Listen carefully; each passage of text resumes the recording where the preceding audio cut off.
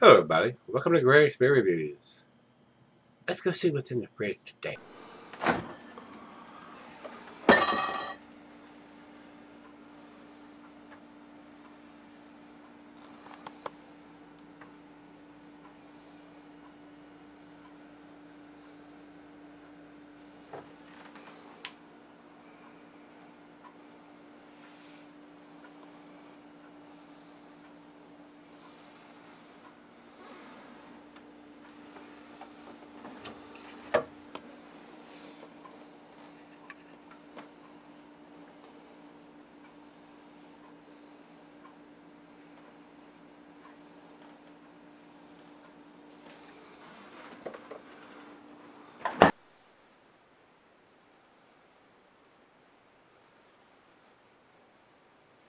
Hey guys, thanks for stopping by Greg's Beer Reviews today. Today's beer comes from Defiance Brewing Company. Those guys are out in uh, Kansas. This is their Origami Spaceship. And this is a 7.5% Saison slash farmhouse ale. Uh, I have had a couple of Defiance Brewing beers. Eh, not sure whether I'm a fan of that, or their beers, or whatever. Uh, I don't recall anything really blowing my hair back of my socks off, but you know, with almost 2,900 beer reviews, it's kind of hard to remember every one of them, especially when you're an old dude like I am. Uh, this is, uh, this is like I said, a Saison farmhouse sale. This was sent to me by Brandon M. Uh, so Brandon, thanks a bunch for sending it to me. Let me try and review it for you guys.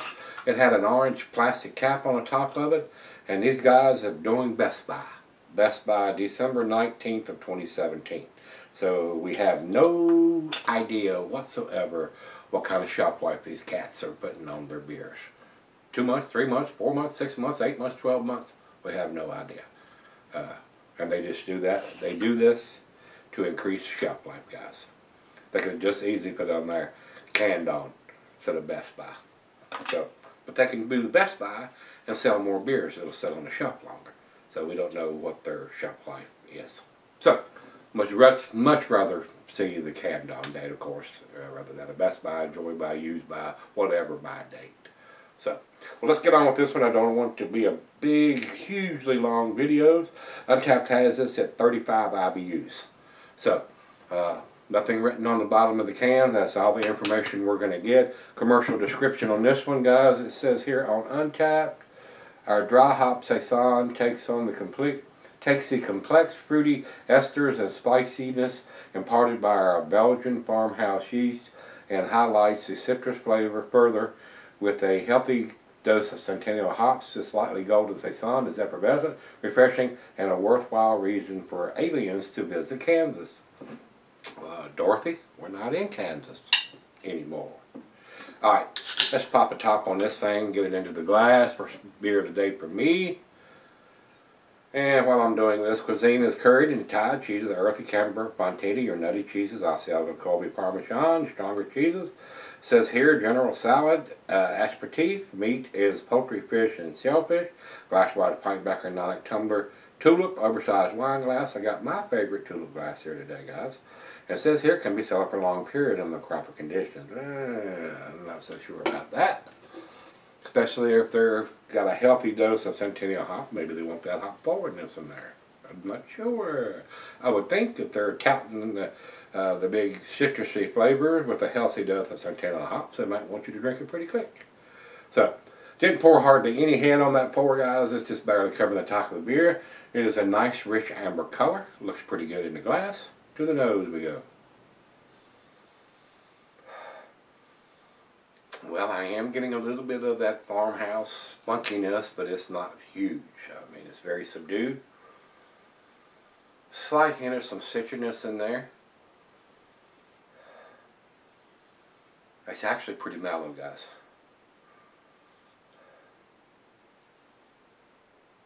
Maybe a little bit of coriander or orange peel. Well, let's dive in and see what we got. Cheers, everybody. Cheers, Brandon.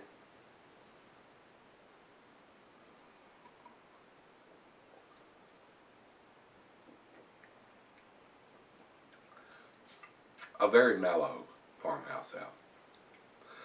Slight citrusy notes from the Centennial hops. A little bit of bready biscuity malt. I'm, uh, uh, I'm disappointed with the amount of funkiness. Uh, saying they're using the uh, uh, the Belgian uh, farmhouse yeast. It's very subdued though. Maybe a good entry level farmhouse beer, but it's a 7.5 percenter. A little stronger ABV than what I would say a transitional beer would be, or or even a lawnmower style saison.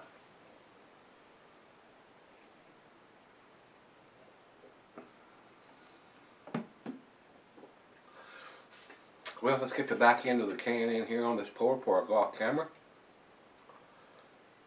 Yeah, a little bit cloudier coming out of the vast bit of the thing there. Clouded it up a little bit there. Yeah, it's, it's a little more cloudy with that last little back end pour.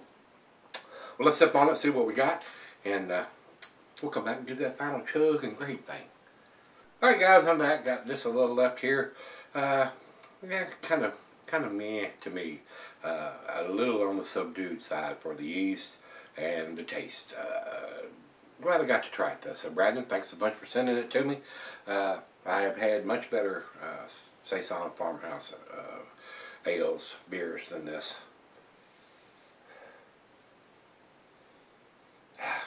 Bottle choke.